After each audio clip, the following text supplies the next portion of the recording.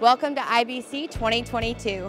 It's been three long years since the world's most inspiring content and technology event occurred in Amsterdam.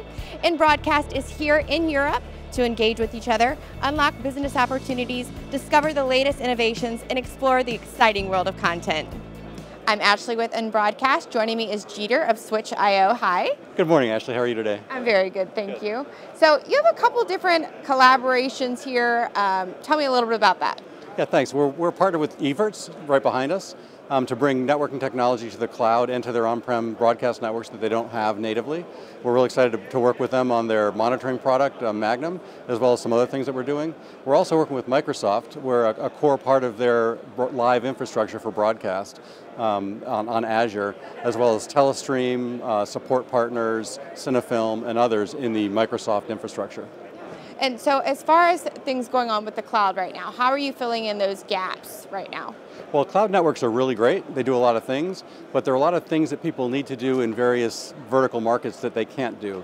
And for media, that means things like supporting SMPTE 2110, uncompressed workflows. It means doing SMPTE 2022-7 high availability redundant paths across cloud networks, as well as supporting basic features like multicast, which we bring to the cloud.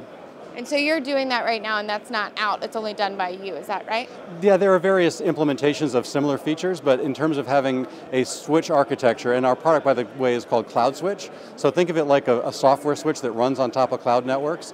Um, and using that switch, we're able to do things that other products can't do. And so what really makes you stand out? The fact that no one else can do the things that we're doing. I mean, the, the idea of having an overlay network isn't new, but being able to provision it in a way that people can take these really hard to do workflows that are really not migrating to the clouds because of the lack of these features, to be able to move them to the clouds is something that's really new. Very good. And, and can you touch on any bit about what we can expect to see in the near future?